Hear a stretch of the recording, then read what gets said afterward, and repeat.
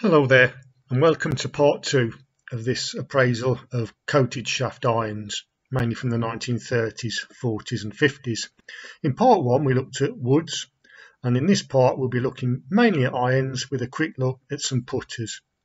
I'll try and post a link to part one up in the top right corner. Let's uh, start part two.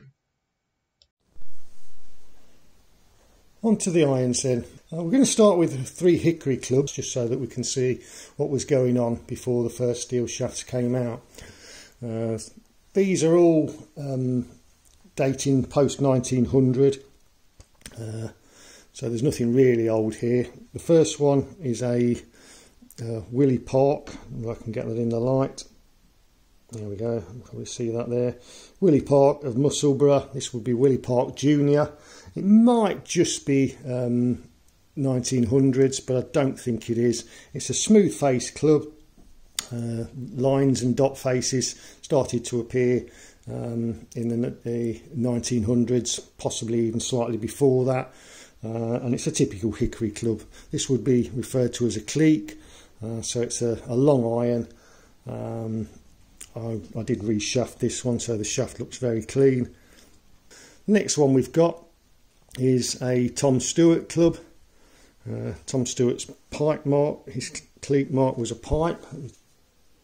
There we are, so we've got a pipe there and we can see TS STA, which was Tom Stewart, St Andrews, um, and the club has been produced and sold and finished off by the professional here, who was Mr Robertson, based at Whitley Bay Golf Club. Special, um, it's just something that was used to make the owner think that they were getting a, a special club. Uh, and then we've got the club name, which is a Mashie, and this is a number two Mashie. Mashies uh, covered all sorts of lofts and sizes. There were deep face Mashies um, and ve very many different lofts. You can see we've, we've, now got a lined face, and this one has got quite a, a wide sole. Uh, it's a nice club. Uh, I've not actually played it yet because I need to reset the head, but it should certainly give a good launch on the ball. Uh, so very nice club. But again, we can see it's still a very simple design, just a flat blade, slight taper from top to bottom. The next one I include, around about this time, before I move on to this one, there were uh, a few innovations going on with um, the weighting of clubs. We were starting to see um, metal being placed in certain areas of the club to um, aid the the flight of the ball. The commonest thing was to increase the amount of weight at the at the centre, which thinking at the time was that that would give you a better strike. And if you hit the sweet spot, that was very much the case. But if you missed the sweet spot, it, it, it wasn't a help at all, uh, which is why we've seen the uh, the current um, cavity irons dominating the market because they move the, the weight away from the centre to the edges which means that you get a, a, a, a less um, loss of distance when you miss the sweet spot. Typical common um, variations at the time, as I say, were to have weight centred um, in the middle of the club, and that might be a raised portion uh, in a diamond pattern. So we have uh, almost like a very flat pyramid, which would be called a diamond back. Um, we're also starting to see what were called muscle back clubs, uh, and that muscle um, was the shellfish MU E. Uh, so it looked like a mussel on the back of the mussel mussel shell on the back of the club. Um, and again, that was to position weight in a certain area. That became um, changed over the years to the mussel we, we know today, M U S C L E. Uh, why that happened. I, I, assume it was because it, it sold better and people were happier buying a club that was a, a muscle club as opposed to a shellfish club. But anyway, that's just a by the by. So coming on to this one then. This is quite a significant club um, and it's the produced by uh, and it's the uh, DW brand. Now, what that stood for, uh, I've no idea, and I've not found anybody that has been able to say either. But it's basically it's a so it's not overly emphasised on this one, um, but we've got a reasonable bit of weight at the bottom, but then we've got some more weight at the top, and that would assist with a, a low penetrating flight for the shot. So very nice for links play. So that's the three hickory clubs we're looking at. Uh, let's get some coated shaft clubs in now. Okay, we've now got eight uh, coated shaft irons here, proper table of delights. We'll start uh, on the left hand side, and this is one that uh, goes after a style that I mentioned previously in the Wilson video, and that's the uh, augmented style. Uh, this one doesn't actually say uh, Willie Ogg on it, but we can see that there's a large um, piece of uh, weighting uh, added to the toe there, which moves the, the weight away from the hosel uh, and moves the centre of gravity more towards the toe. Um, early clubs with long hosels and not very heavy blades tended to have the sweet spot quite close to the hosel. Um, and we all know what uh, what can happen when we're, we're hitting close to the hosel. Well, I do anyway. Uh, this is a, a St Andrews Golf uh, Company club um, who Willie Ogg did work for for a while. So quite an innovative model here. And it's also got quite an unusual shaft. We can see here it tapers down and looks very much like a hickory shaft. Uh, there's no uh, ferrule on there, it's all one piece.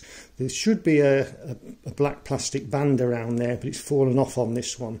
Um, but it does enable us to see uh, how thick that uh, coating is there. I'm not sure what this material is. I don't think this one's Pyratone. It feels slightly softer than that. But also of interest, as we get towards the end of the club, we can see, whether I can transit, show that in the light, it transitions from being round to hexagonal about this point here. So you can see as I roll that, we can see the different sides. So it's uh, quite an interesting shaft all round, really. A nice leather grip there. I, I was talking about experimentation and different styles. The OW model moving the weight towards the toe. Uh, this club, which is interesting in many ways, uh, goes the exact opposite. Uh, there's very little weight on the toe and a large chunk of additional weight we can see on the heel here. So this would be moving the weight towards the hosel. Um, and as I say, that's a, a, a, recipe for disaster for me. Um, looking at the club, it, it, it has the appearance of uh, a hickory club in many ways, quite a wide hosel at the top, so you could easily imagine a hickory shaft going in there. Now this is actually what's called uh, a no-shock hosel.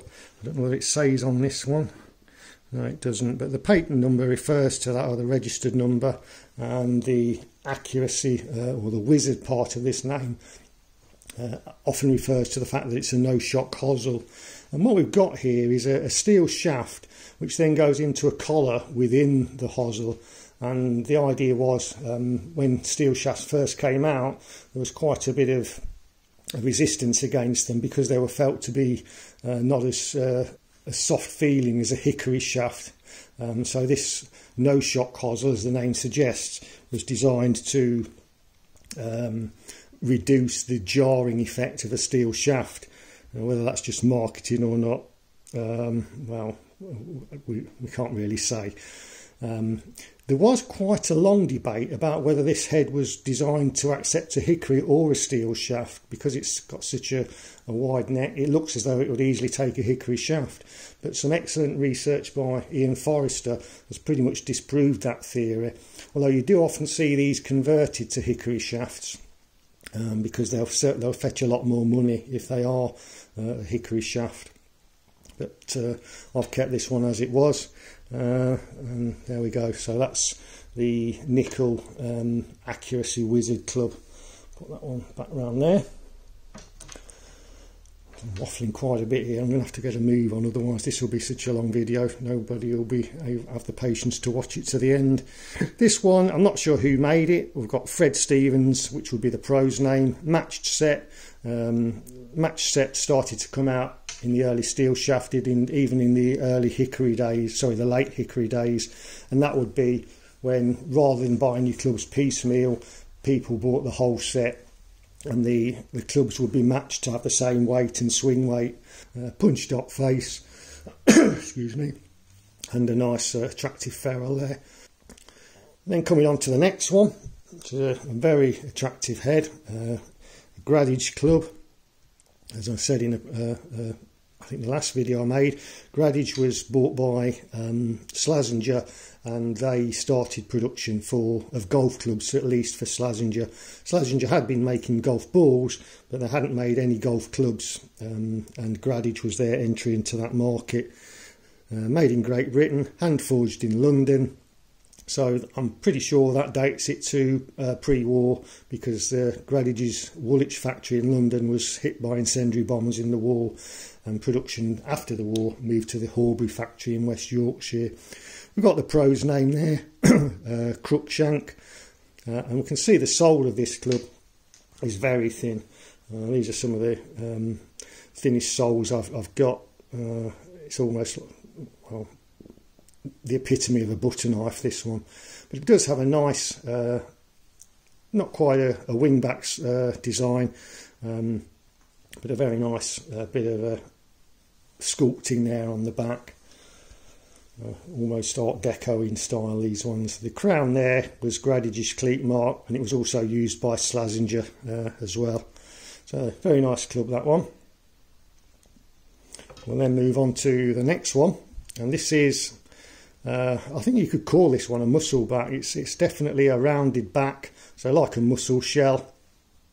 Uh, peak high, I've already mentioned um, that this came from the Derbyshire, uh, Buxton area. Um, Sid Warren Green is the professional there. Uh, this is a number four iron. We've got the registered design there, so we could find that um, if we did enough research and track down the registration number. Uh, unfortunately, as I say, I mean, these are a beautiful set, lined face, so they're a bit of a transitional club. Um, true temper dynamic shaft. So whether they were 1930s or 1940s, it's difficult to say. But again, we've got that true temper ladies flex shaft. Nice grips again. Super plus four grips made in England. And overall, extremely attractive club.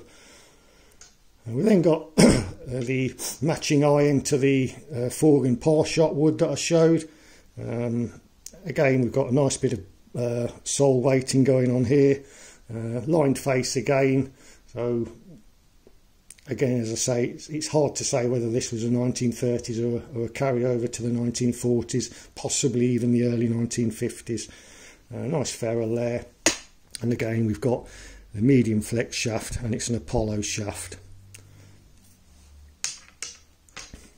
We've then got uh, this design here, which there was a, a time when these uh, large um, grooves on the sole uh, were quite popular. Uh, I think it was the, the 1930s, late 1930s.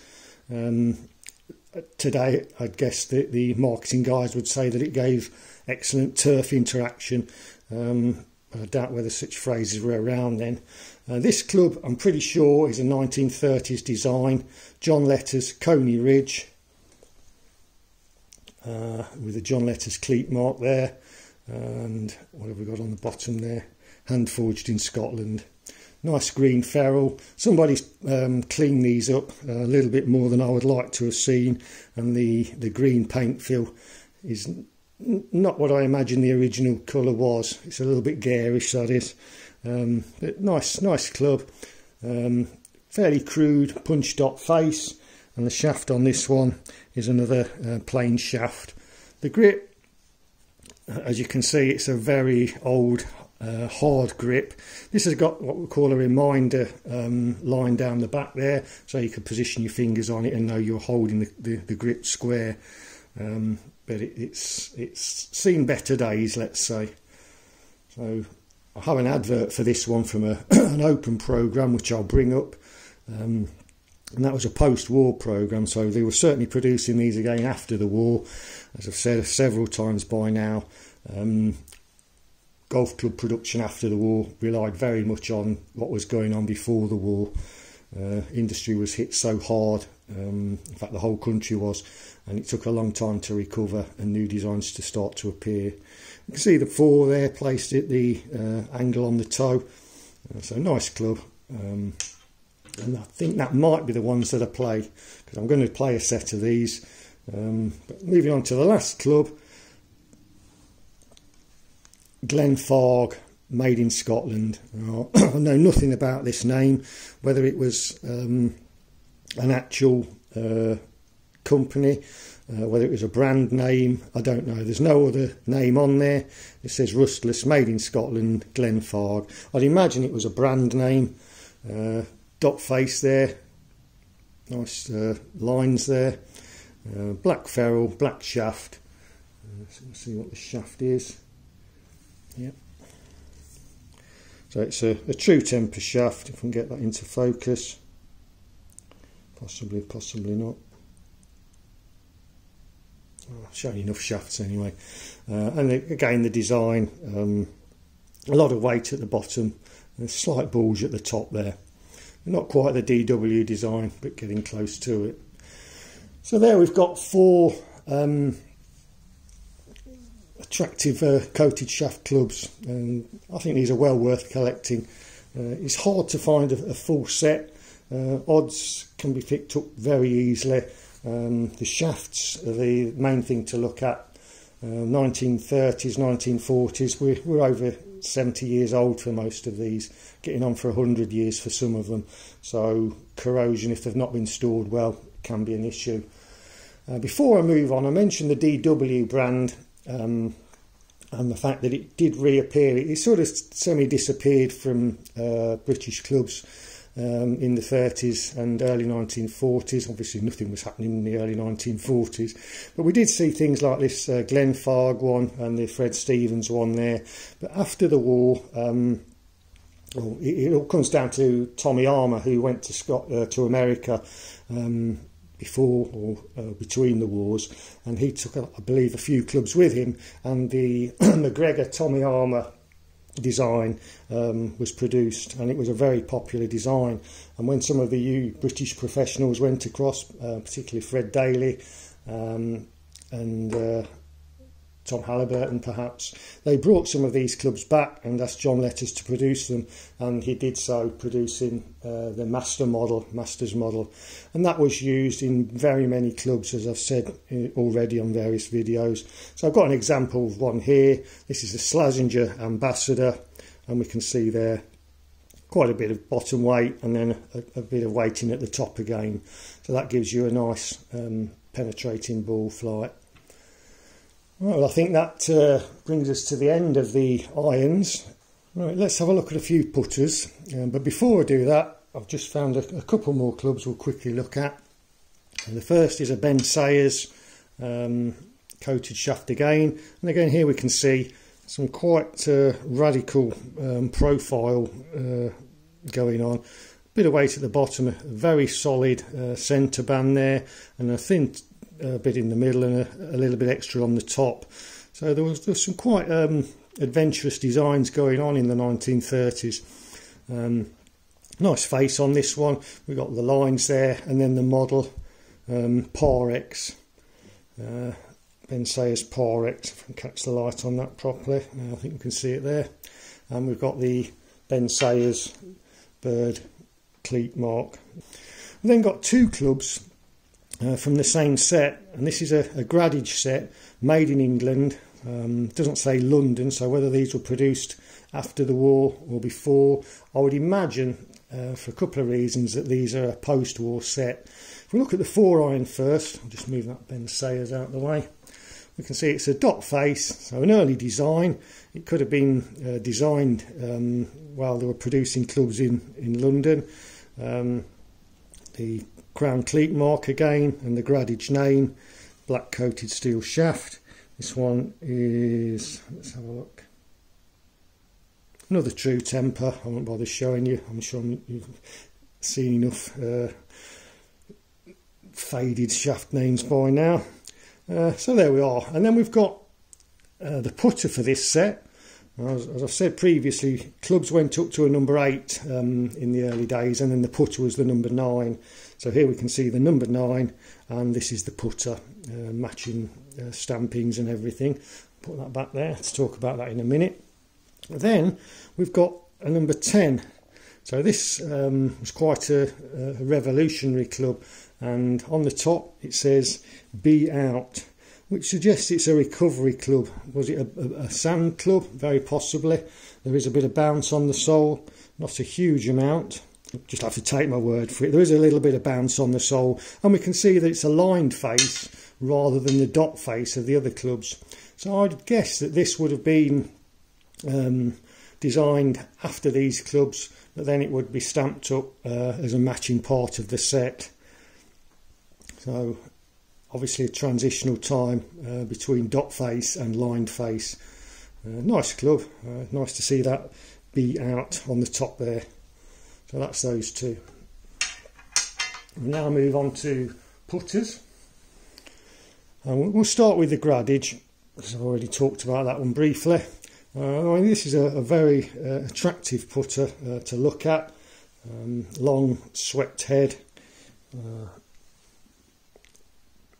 but I've, I find it quite difficult to put with. If we look down uh, the end there, I can position it so that you can see. There's a very big offset on it, which I'm not a huge fan of. Uh, so and I also find it quite hard to find the sweet spot. So while I think it's a very nice looking putter, it's not one of the uh, the ones that I put the best with. Uh, the same shaft as the, the rest of the set and a dot face as well. So that's that one.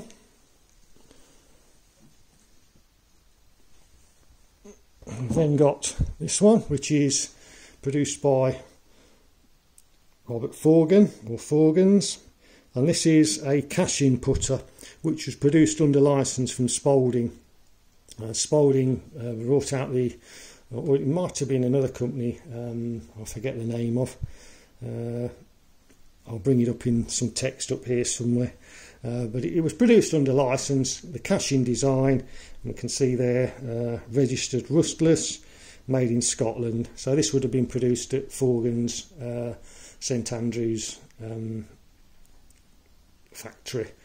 The shaft on it is one that was used quite a lot on putters. Don't see it very much on uh, other clubs. We can see it's quite a, a thin shaft at the uh, at the bottom there compared to the other shafts um, and it's a green metallic finish on it.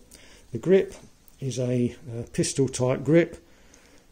We yet to take this one on the course so I can't say at all how it puts but nice putter. We've then got uh, the putter from the Peak High set as I've already shown the wood and the uh, iron for and it follows the same sort of style, muscle back style, very pronounced on this one and again it's a number 9 uh, for the putter. And we've got Sid Warren Green signature there Peak High registered design. Very nice club. And finally last in the coated shaft putters. As I say these don't really differ much from uh, other putters. Uh, there was a lot of development going on. Um, this one is a flange sole putter uh, very good condition. We've got a frosted face punch dot face frosted top line as well and on the sole Robert Forgan victory putter. And we've got the Forgan flag cleek mark there stainless made in Scotland. So that concludes the putters. And hopefully uh, you'll agree now that the coated shaft area has got a lot to offer collectors. Um, there are some really innovative designs um, a lot of makers that disappeared um, slightly before or during or immediately after the war. So there are some names that don't uh, show up uh, in post-war clubs. Um, but it's a very neglected area. There's very little research done on it. Um, so yeah, let's hope we can get more people interested. This video is already very long, so I'm going to have to make a part three to show me playing with some of these clubs on the course.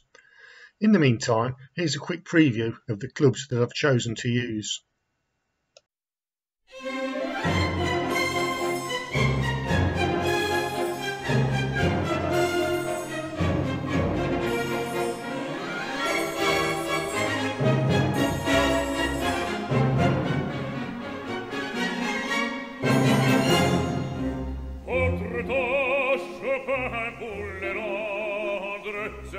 signor, carabec le soldat.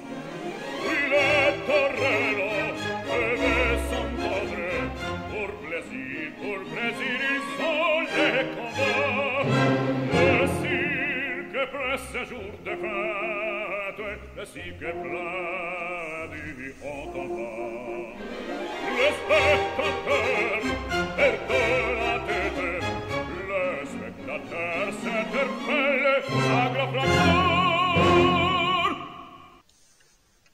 That was pretty dramatic. I hope my play can live up to it. Well, I hope you've enjoyed this part two and you'll find time to tune into part three when it comes out. Thanks for watching and I'll see you next time.